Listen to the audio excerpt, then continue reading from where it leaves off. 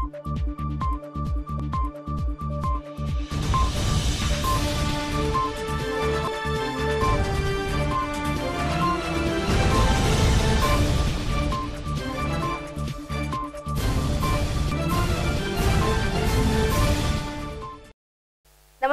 Shalini plus बातमीपत्रात मी रश्मी आपल्या सर्वांचं स्वागत करते. बातम्यांच्या सुरुवातीला एक नजर टाकूयात हेडलाईन्सवर डॉक्टर बालाजी किणीकर यांच्याकडून विधान भवनावर निदर्शने झाडांना लावलेल्या आगीचा केला निषेध. आमदार अनिल गोटे स्थापणार नवा पक्ष धुळे महापालिका निवडणुकांमधून डावलल्यानंतर केली घोषणा. जैश ए मोहम्मदचे दहशतवादी दिल्लीत दाखल नागरिकांना सतर्कतेचा इशारा. भारत रशिया यांच्यात पाचशे दशलक्ष डॉलरचा करार दोन युद्ध नौका बांधणीसाठी केला करार. आणि सीबीआय संचालक वर्मा यांची अहवाल माहिती माध्यमांमध्ये सुनावणी एकोणतीस नोव्हेंबरवर ढकलली. आणि आता पाहूया सविस्तर वृत्त. अंबरनाथ तालुक्यातील मांगरुळ येथे खासदार डॉक्टर श्रीकांत शिंदे यांच्या पुढाकाराने लोकसहभागातून लावण्यात आलेल्या झाडांना सलग दुसऱ्या वर्षी आगी लावण्याचा संतापजनक प्रकाराचा तीव्र निषेध करत आमदार डॉक्टर बालाजी किणीकर यांनी विधिमंडळाच्या सुरू असलेल्या हिवाळी अधिवेशनादरम्यानच विधानभवनाच्या पायऱ्यांवर सोमवारी निदर्शने केली आहेत. पाहूया त्या संदर्भातील ही बातमी. अंबरनाथ तालुक्यातील मांगरुळ येथे खासदार डॉक्टर श्रीकांत शिंदे यांच्या पुढाकाराने लोकसहभागातून दिनांक पाच जुलै दोन हजार सतरा रोजी एक लाख वृक्ष लावण्यात आले होते. या झाडांना सलग दुसऱ्या वर्षी देखील समाजकंटकांकडून आग लावण्याचा संतापजनक प्रकार घडल्यानं विधिमंडळाच्या सुरू असलेल्या हिवाळी अधिवेशनाच्या पहिल्याच दिवशी आमदार डॉक्टर बालाजी किणीकर यांनी विधानभवनाच्या पायऱ्यांवर निदर्शने केली आहे. तसेच शासनाने जाहीर केलेल्या तेरा कोटी वृक्ष लागवडीचे देखील थर्ड पार्टी ऑडिट करण्याची मागणी यावेळी एकमुखाने करण्यात आली. Bureau report Shalini plus Mumbai. भाजपाचे आमदार अनिल गोटे यांनी नवा पक्ष स्थापन करण्याची घोषणा केली आहे. त्यामुळे आता धुळे महानगरपालिकेच्या रिंगणात अनिल गोटे यांच्या पत्नी हेमा याही उभ्या आहेत. हेमा गोटे या महापौर पदासाठी लढणार आहेत अशी ही माहिती समोर आली आहे. भाजपाने अनिल गोटे यांना धुळ्यातल्या महापालिका निवडणुकांमधून डावललं. यानंतर नाराज झालेल्या अनिल गोटे यांनी नव्या पक्षाची घोषणा केली आहे. भाजपाने आपली फसवणूक केल्याचा आरोप अनिल गोटे यांनी केला आहे. त्यामुळेच त्यांनी नव्या पक्षाची घोषणा केली आहे. धुळे महापालिकेच्या निवडणुकीच्या पार्श्वभूमीवर अनिल गोटे आणि भाजपा नेते मंत्री सुभाष भामरे यांच्यात वाद सुरू आहेत.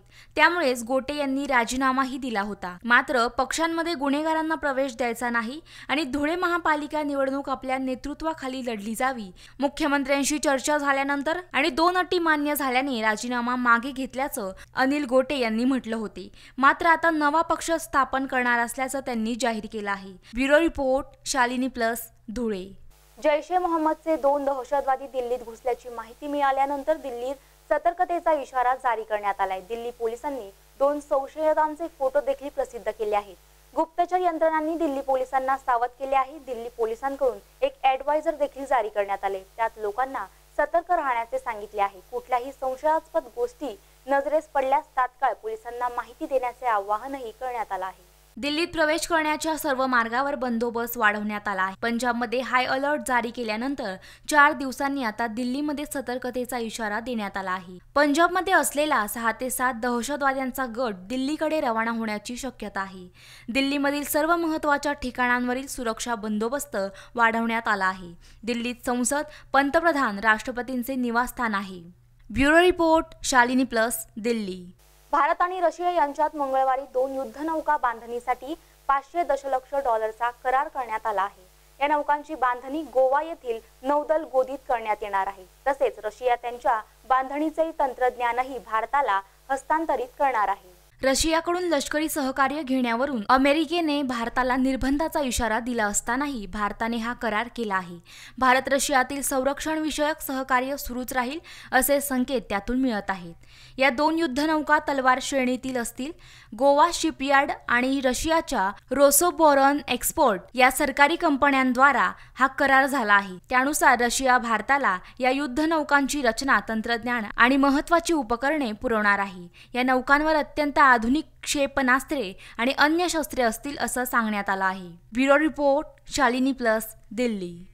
सीबीआयचे संचालक आलोक वर्मा यांनी केंद्रीय दक्षता आयोगाच्या अहवालाला दिलेल्या उत्तरातील काही अंश माध्यमांमध्ये प्रसिद्ध झाल्यामुळे नाराज होऊन मंगळवारी सर्वोच्च न्यायालयाचे सरन्यायाधीश रंजन गोगाई यांनी या प्रकरणाची सुनावणी एकोणतीस नोव्हेंबर पर्यंत तहकूब केली आहे. केंद्रीय दक्षता आयोगाने आलोक वर्मा यांची चौकशी करून सर्वोच्च न्यायालयापुढे सादर केलेल्या सीलबंद अहवालातील काही अंश माध्यमांमध्ये प्रसिद्ध झाले होते. ही माहिती माध्यमांपर्यंत कशी पोहोचली असा प्रश्न सरन्यायाधीश गोगाई यांनी मंगळवारी आलोक वर्मा यांचे वकील ज्येष्ठ विधिज्ञ फली नरीमन यांना विचारला. त्याची आपल्याला कल्पना नसल्याचं नरीमन यांनी सांगितलं आणि अहवालातील माहिती बाहेर पोहोचवणाऱ्याला न्यायालयात हजर करावे अशी मागणी केली आहे. त्यावर तुमच्यापैकी कोणीही सुनावणी साठी पात्र नाही अशी संतप्त शेरेबाजी करून सरन्यायाधीश गोगाई यांनी या प्रकरणाची सुनावणी एकोणतीस नोव्हेंबर पर्यंत स्थगित केली आहे. Bureau report Shalini plus Mumbai. सरळ सेवेतून उत्तीर्ण होऊन नऊ महिने प्रशिक्षण घेऊनही मूळ पदावर गेलेले राज्यातील एकशे चोपन्न मागासवर्गीय पोलीस उपनिरीक्षक मानाने परतले आहेत. गृह विभागाच्या आदेशानंतर पोलीस महासंचालक कार्यालयाने त्यांना नियुक्तीपत्र दिलं आहे. लवकरच ते नियुक्तीस्थळी रुजू होतील. त्यामुळे या एकशे चोपन्न मागासवर्गीय पी एस आय यांना अखेर पद आणि प्रतिष्ठा मिळाली आहे. पाच ऑक्टोबर रोजी या सगळ्यांचे प्रशिक्षण पूर्ण होऊन मुख्यमंत्री देवेंद्र फडणवीस यांच्या उपस्थितीत पासिंग आऊट परेडही पार पडली. मात्र पदोन्नतीमधील आरक्षण बेकायदेशीर असल्याचं सांगत शपथविधीच्या दुसऱ्याच दिवशी मॅटने या एकशे चोपन्न पी एस आयची नियुक्ती रोखून त्यांना मूळ पदावर पाठवलं होतं. यानंतर संबंधित एकशे चोपन्न जणांनी मॅटमध्ये फेरविचार याचिका दाखल केली. यावर पुन्हा सुनावणी घेत मॅटने सहा नोव्हेंबर रोजी एकशे चोपन्न पी एस आयांना दिलासा दिला आणि त्यांच्या नियुक्तीला स्थगिती देणारी याचिका फेटाळली. त्यामुळे या एकशे चोपन्न जणांना नियुक्ती मिळण्याचा मार्ग मोकळा झाला. मात्र तरीही पी एस आयच्या नियुक्तीमध्ये अडथळे येत होते. अखेर जवळपास दीड महिन्यांच्या प्रयत्नानंतर त्यांना नियुक्ती मिळाली आहे. Bureau report Shalini plus Mumbai. पुण्यातील जनता वसाहत येथे असणाऱ्या कालव्यात एका महिलेला वाचवण्यात अग्निशमन दलाच्या जवानाला यश आलं आहे. दलाचे जवान जीवाची बाजी लावून कशा प्रकारे कर्तव्य बजावतात याचं एक बोलके चित्र या घटनेतून पाहायला मिळालं. पुण्यातील जनता वसाहत येथे कालव्यामधून एक महिला पाण्याच्या प्रवाहाबरोबर वाहत येताना स्थानिकांना दिसली. त्यावेळी नागरिकांनी जनता वसाहत येथे नुकत्याच सुरू झालेल्या अग्निशमन केंद्रातील जवानांना याची माहिती दिली. हे जवान क्षणाचाही विलंब न लावता घटनास्थळी दाखल झाले आणि त्या बुडणाऱ्या महिलेला जिवंत बाहेर काढले. त्या महिलेला प्राथमिक उपचार देखील दिले आहे. सदर महिलेने नेमकी कशामुळे उडी मारली अथवा नेमके काय घडले याची अधिक माहिती समजू शकली नाही. अशा प्रकारे जवान कोणताही असो तो जीवाची बाजी लावून प्राणपणाला लावतो हेच खरं. शालिनी प्लससाठी आशिष तिवारी पुणे. वेळ झाली आहे बातमीपत्रात. छोट्याशा विश्रांतीची तुम्ही कुठेही जाऊ नका. पाहत रहा शालिनी प्लस. अरे मरी क्या? सॉरी सर मैंने आपको देखा नहीं। लेकिन मैंने आपको देखा। मैंने आपको पहचान भी लिया। मैं आपके पिताजी को बहुत अच्छी तरह जानता। बहुत महान इंसान थे। उनकी मैंने सारी किताबें पढ़ी हैं। मैं तो उनका बहुत बड़ा फ़ैन हूँ। सुबह ही मैंने उनकी फ़ोटो पर हार भी चढ़ाया। फ़ोटो? और मेरा बाप तो ज़िंदा है। तिलक साहब ज़िंदा है? तिलक? हाँ। अरे मेरे बाप का नाम रसिक लाल है। रसिकला लोकमान्य तिलक ये आपके बाप का रोड नहीं है? तो फिर नो एंट्री पे एंट्री क्यों लिया आपने? मुझे माफ़ कर दीजिए। देखिए आपकी और सबकी सुरक्षा के लिए ट्रैफ़िक नियमों का कृपा करके पालन कीजिए। क्योंकि रोड किसी के बाप का नहीं है। वेरी गुड चलिए रिवर्स लीजिए। सड़क सुरक्षा जीवन रक्षा. विश्रांतीनंतर पुन्हा एकदा आपले स्वागत. आता पाहूयात पुढील वृत्त. हर हर महादेवच्या जयघोषात ढोलताशांच्या गजरात गुलालाची उधळण करत उघड्या अंगाने बाबळीच्या काट्यांच्या ढिगांमध्ये पाण्यात सूर मारावा अशा उड्या घेऊन काट्यांमध्ये लोळणारे पुरुष भक्तांचे अक्षरशः अंगावर काटाच आणणारे रोमांचक दृश्य आज पुण्यातील पुरंदर तालुक्यातील गुळुंचे येथील काटेबारस यात्रेत हजारो भाविकांनी अनुभवले. काटेबारस यात्रेनिमित्त गुळुंजे परिसरासह राज्यातील विविध भागातून हजारो भाविकांनी मोठ्या प्रमाणावर येथे गर्दी केली होती. पुणे जिल्ह्यात पुरंदर तालुक्यातील नीरा शहरापासून पाच किलोमीटर अंतरावर असलेल्या गुळुंजे येथील श्री ज्योतिर्लिंग देवस्थानच्या कार्तिक शुद्ध द्वादशीच्या काटेवारस या नावाने संपूर्ण महाराष्ट्रात प्रसिद्ध असलेल्या या यात्रेला राज्यभरातून हजारो भाविकांनी उपस्थिती दर्शवली. दिवाळीत लक्ष्मीपूजन दिवशी मध्यरात्री घटस्थापना होऊन कार्तिक शुद्ध द्वादशीपर्यंत नियमितपणे छबिना आणि कीर्तन यासारखे धार्मिक कार्यक्रम राबवले जातात. अखंड बारा दिवस गुळंचेमधील ग्रामस्थांनी आणि महिलांनी उपवास केले. ज्योतिर्लिंगाची पालखी काल एकादशी दिवशी नीरा नदीच्या पैलतीरावर दत्तघाट परिसरात पवित्र तीर्थामध्ये ज्योतिर्लिंग देवाच्या मुखवट्यांना भक्तिमय वातावरणात नीरा स्नान घालण्यात आले. दरम्यान मंदिरासमोरील प्रांगणात बाभळीच्या काट्यांचा मोठ्या प्रमाणावर ढीग रचला होता. पालखी मागून आलेले भक्त रचलेल्या काट्यांच्या ढिगामध्ये उड्या घेण्यासाठी आसुसलेले होते. या रचलेल्या काट्यांच्या ढिगाकडे श्वास रोखून नजर लावून असलेल्या भाविकांची उत्सुकता वाढत असताना रचलेल्या काट्यांच्या ढिगाऱ्यात देवाचा जयघोष करत एकामागून एक भक्त उड्या घेत होता. सुमारे शंभर भक्तांनी यात सहभाग घेतला होता. रोमांचकारी दृश्य पाहून उपस्थित हजारो भाविकांच्या अंगावर प्रत्यक्षात काटा येत होता.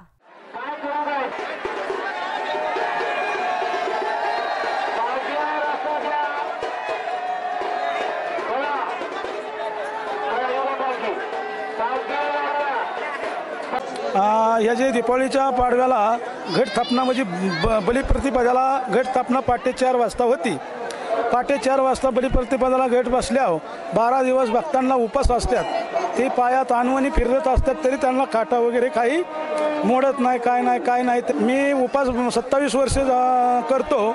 मी तिखट मीठ अजिबात सत्तावीस वर्षात काय फराळीचं केलं तरी गोड खिचडी वगैरे फळ फळाव खा खात असतो. की मी पहिला झूट काट्यात पडत असतो. आणि नंतर मग सर्व भाविक भक्त काट्यात पडतात. तर आम्हाला कोणचीही जावत नाही. जरी काटे अंगात जरी असले तरी हातूनच असले तरी काटे गळून पडतात. वगैरे त्याचं पाणी होऊन जातं. तरी ही ज्योतिर्लिंग देवस्थान अख्खे श्रेष्ठ असल्यासारखे आम्ही मानत असतो. तर आम्हाला काही त्याच्यापासून जरी काट्यात पडलो तरी काही प- त्याच्यापासून आम्हाला त्रास होत नाही. येथे गुळूंचे गावामध्ये काठबारसाचा कार्यक्रम पिढीनपिढ्या चालत आलेला आहे. तर हा या दिवशी दिपाळीच्या दुसऱ्या दिवशी पहाटे घटस्थापना होते. घटस्थापना झाल्यानंतर त्या दिवशी बहुतेक बऱ्याच प्रत्येक घरामध्ये लोक उपवास धरतात. तो उपवास कडक उरत असतं. हे शंकराचं ज्यावेळेस भगवान शंकर तपश्चर्याला बसतात त्यावेळेस इकडं लोक उपवास करतात. हा भंग भगवान शंकर तपश्चर्याचा विधी आहे. त्यानंतर काही दिवसानंतर भगवान शंकराची बहीण थोडेसे थोडं बहीण भावामध्ये थोडे तक्रार होते. आणि थोडी भांडणं होतात. भांडणं होतात झाल्यानंतर त्यांची बहीण निघून जाते. निघून गेल्यानंतर भगवान शंकर तिला आणायला जातात. परंतु ती या येण्यास तयार होत नाही. मग श- भगवान शंकर तिचे विनवणी करतात. तिला पुन्हा घेऊन येतात. आल्यानंतर पुन्हा आल्यानंतर ती गावाच्या बाहेरच थांबते. ती गाव घरी येण्याचा ती घरी यायला तयार होत नाही. मग भगवान शंकर घरी येतात आणि तिला पालखी पालखी पालखी घेऊन जातात. आणि पालखीमध्ये तिला बसवून तिची वाजत गाजत मिरवणूक मिरवणूक काढून तिला गावामध्ये आपल्या घरी आणतात. आणल्यानंतर बावळीच्या कुजलेल्या काट्याचा मोठा ढीक उभा करून त्यात पश्चाताप म्हणून तिचा राग शांत होण्यासाठी पश्चाताप म्हणून तिच्या समोर काट्यात उडी टाकतात. हे हे यात्रेचं प्रतीक आहे. प्रत्येक वर्षी काटाबारशीला आम्ही येत असतो. परंपरा आमची ही दे भक्तीच चाललेली आहे. भाऊ उड्या टाकतात बाचा उड्या टाकतात. देवाच्या यातनं बारा दिवस उपास असतात. बिनचपलाचं करतात कोण म- वाळणी फराळाचं करतात कोण तिकटाचं करतात. जशी जशी त्यांची भक्ती असेल तशी तशी ती करते ती. आम्ही जन्माच्या आधीपासून चालू आहे. मग त्याच्या आधी कावापासून चालू आहे हे काय माहीत नाही. आम्हाला जेव्हापासून समजतंय तेव्हा अगदी लहानपणापासून आम्ही काठीबारस यात्रा अनुभवतोय. आपल्या पायात चालताना काटा जरी मोडला तरी आपल्याला वेदना होतात. परंतु या काट्याच्या ढिगामध्ये अक्षरशः भक्तगण पाण्यात उड्या माराव्यात तशा पद्धतीने या काट्याच्या ढिगावरती भक्तगण उड्या मारतात. त्यांना कोणत्याही प्रकारची इजा होत नाही. अगदी ही आमच्या देवावर असलेली श्रद्धा आहे. त्यामुळं हा ही हा सोहळा अतिशय नयनरम्य असून तो पाहण्यासारखा सोहळा आहे. शालिनी प्लससाठी सुनीता कसबे पुरंदर. नाशिक जिल्ह्यात अवकाळी पावसाने द्राक्ष बागांसह वेलवर्गीय पिकांचे मोठ्या प्रमाणात नुकसान केले आहे. नाशिक परिसरात भोपळा बगीचा वादळी वाऱ्याने जमीनदोस्त झाला असून लाखो रुपयांचं नुकसान झालंय. यामुळे बळीराजा संकटात सापडल्याचं चित्र दिसून येत आहे. नाशिक जिल्ह्यात बेमोसमी पावसानं पंधरा दिवसात दुसऱ्यांदा अचानक हजेरी लावल्यानं शेतकऱ्यांचे मोठे नुकसान झाले आहे. या दरम्यान जिल्ह्यात काही भागात गारा झाल्याने द्राक्ष मन्यांना तडे गेले आहे द्राक्ष उत्पादकांचे धाबे दणाणले असून पुढील दोन दिवस पावसाचा अंदाज असल्यानं शेतकऱ्यांमध्ये चिंतेचं वातावरण निर्माण झालंय. अचानक आलेल्या पावसाने पोंगा आणि फुलोरा अवस्थेतील द्राक्ष बागांचे मोठे नुकसान झाले आहे. तसेच भात मका आदी पिकांचा सोंगणीचा हंगाम सुरू असल्यानं हातातोंडाशी आलेला घास शेतकऱ्यांकडून निसर्गाने हिरावून घेतला आहे. तांबाटी लावली होती. वेलवर्गीय पीक हे एक एकर भोपळ्याचं आहे. कालच्या वावकळी पावसामुळे पूर्ण भोपळा भुईसपाट झालेला आहे. आणि त्याला पाणी नसताना आम्ही त्याला कसं तरी जगवलं आहे आणि तो आज चालू होण्याच्या स्थितीत होता. पण कालच्या अवकाळी पावसामुळे पूर्ण भोपळा उद्ध्वस्त झालेला आहे. पूर्ण अँगल पण उपटून गेलेले काही राहिलेलं नाही खाली. आणि आम्हाला जरी सरकार काही मदत करेल पण ती तेवढी पुरेशी होणार नाही. कारण एकही रुपये हातात राहण्यासारखा कशातच काही नाही.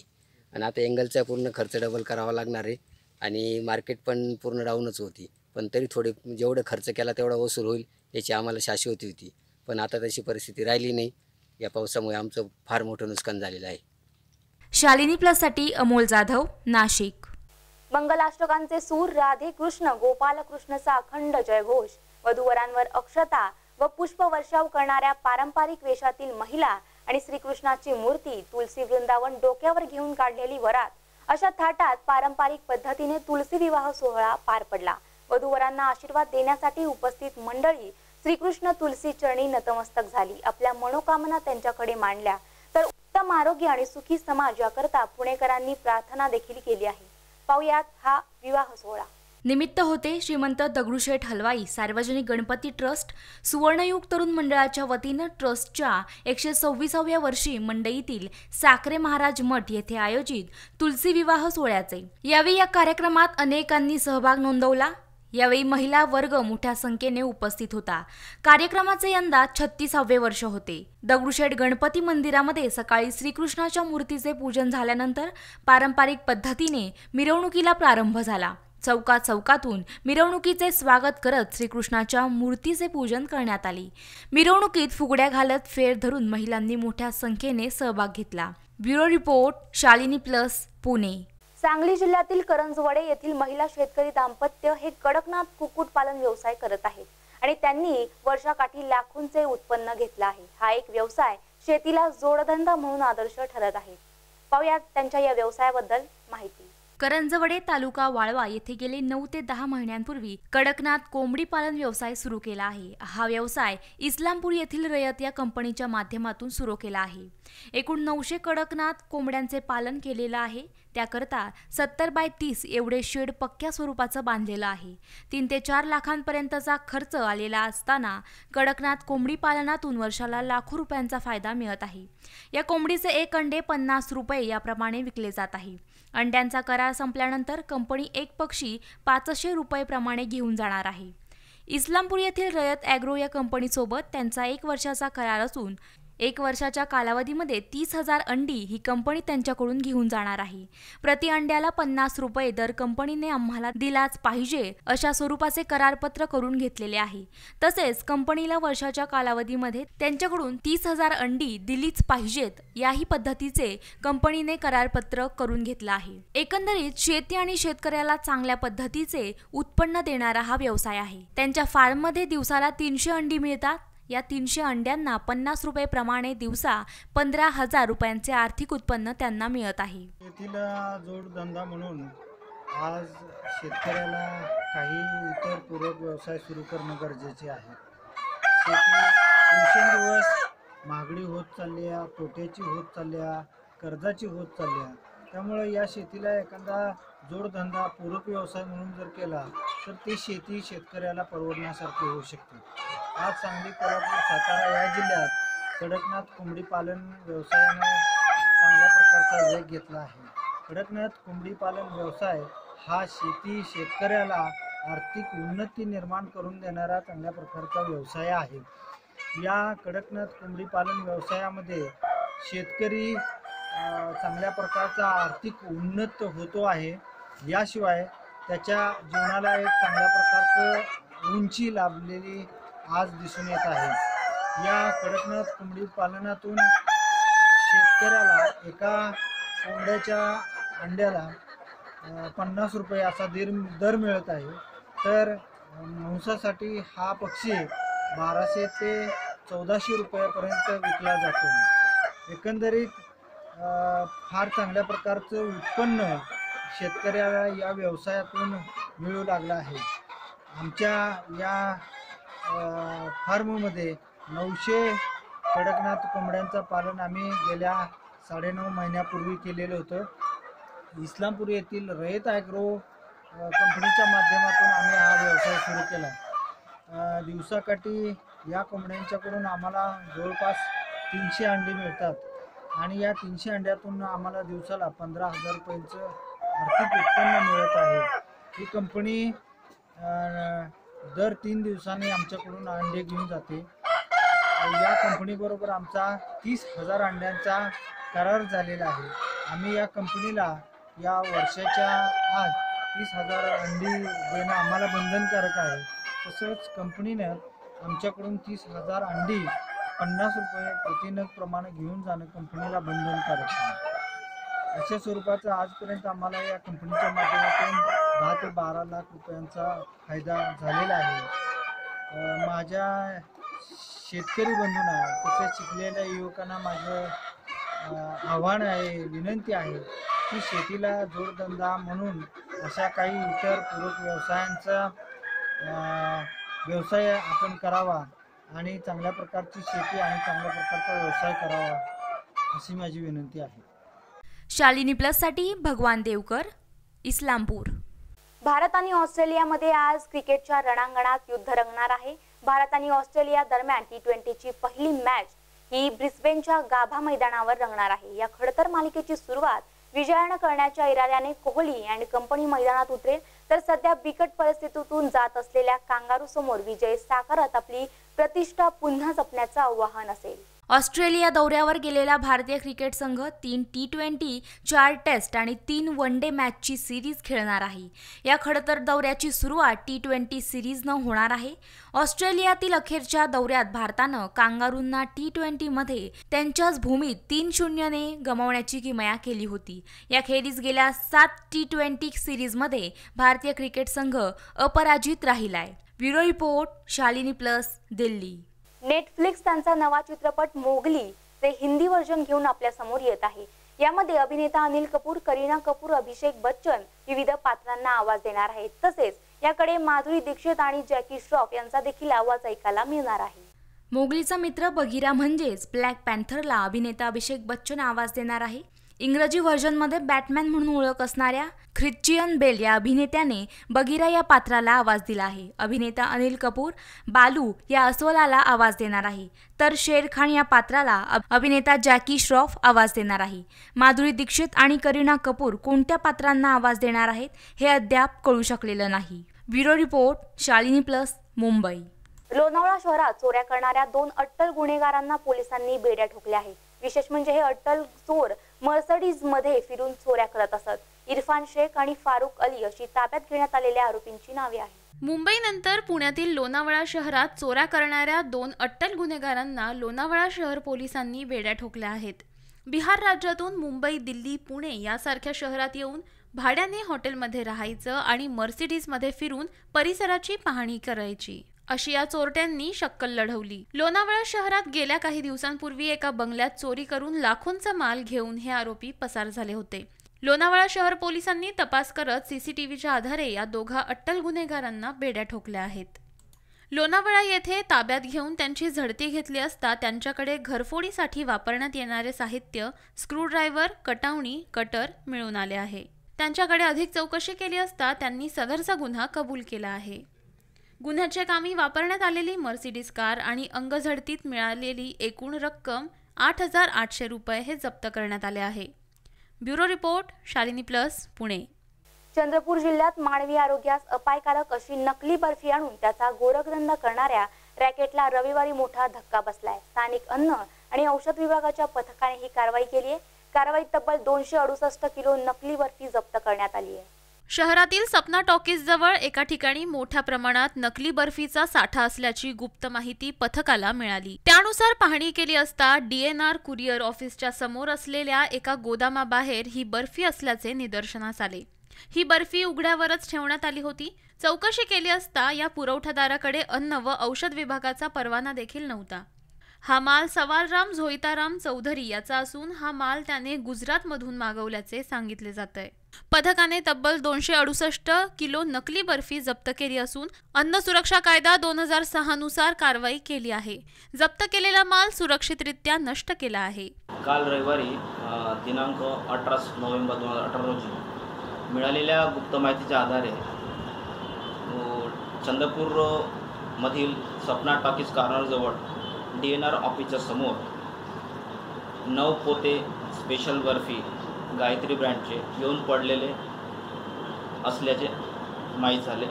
त्यावरून मी तिथे तात्काळ हजर होऊन तपासणी केली असता सदरचे पोते जे होते स्पेशल बर्फीचे ते उघड्यावरच उन्हामध्ये ठेवलेले होते आणि त्या त्यावरून काही लोक पाय ठेवून सुद्धा जात होत असल्याचे ये जा करीत असल्याचे आढळून आले.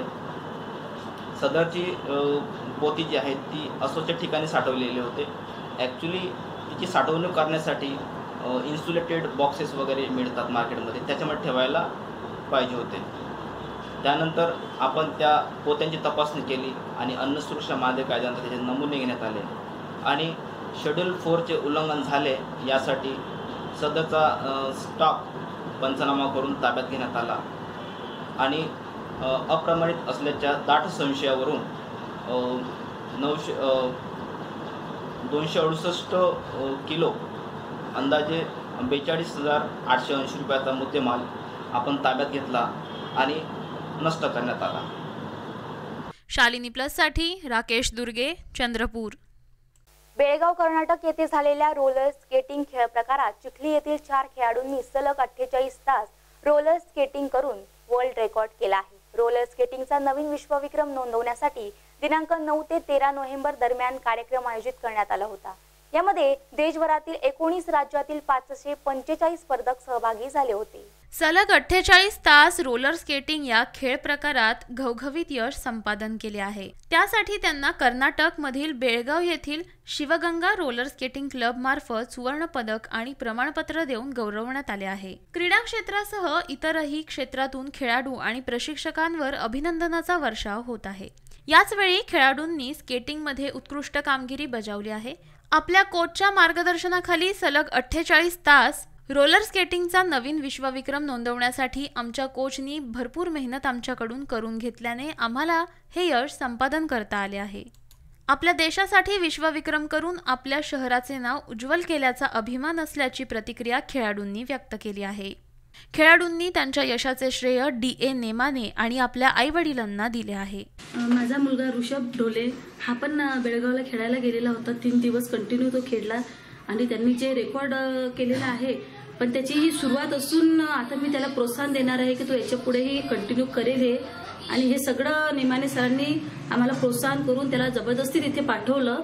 त्यामुळे मी त्यांचे आभार मानते आणि तो असाच खेळत राहील आणि मेडल नेहमी जिंकत येईल अशी मी आशा करते. राजनं जी ही स्केटिंगची आवड हे केली आम्ही त्याला म्हणजे नेहमी प्रोत्साहित केलं. आणि त्यांना पण आतापर्यंत म्हणजे नॅशनल लेवलवर स्टेट लेवलवर मेडल आणले. आणि आता अठ्ठेचाळीस तास स्केटिंग खेळून गिनीज बुकमध्ये रेकॉर्ड केलं. मागे पुण्यालाही त्यानं वर्ल्ड रेकॉर्ड आणलं त्याच्यातही गोल्ड मेडल मिळवलं.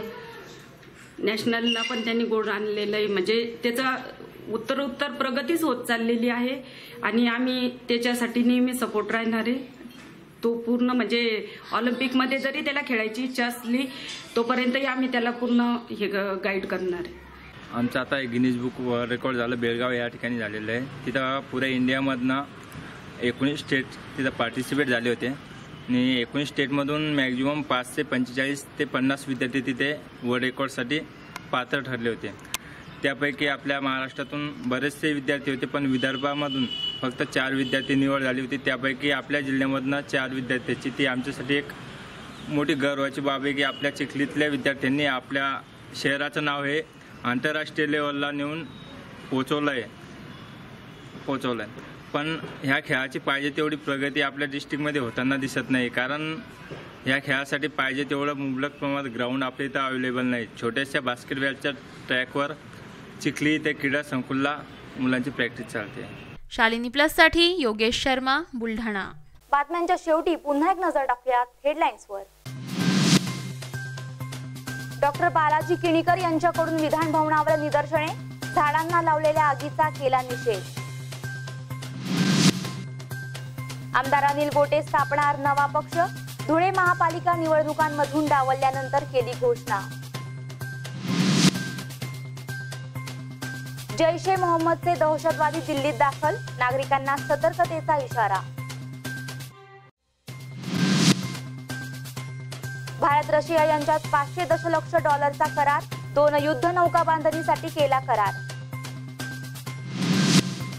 आणि सीबीआय संचालक वर्मा यांची अहवाल माहिती माध्यमांमध्ये सुनावणी एकोणतीस नोव्हेंबरवर ढकलली. आणि बातमीपत्रात वेळ झाली येथेच थांबण्याची ताज्या अपडेट्स आणि घडामोडी जाणून घेण्यासाठी पाहत रहा शालिनी प्लस. प्रतिबिंब वास्तवतेचं. नमस्कार.